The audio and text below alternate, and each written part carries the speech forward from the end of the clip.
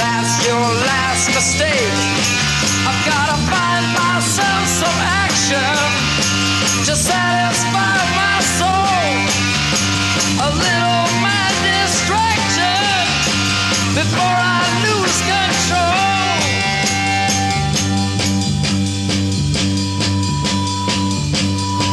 You say you love me, girl, but why are you so cold?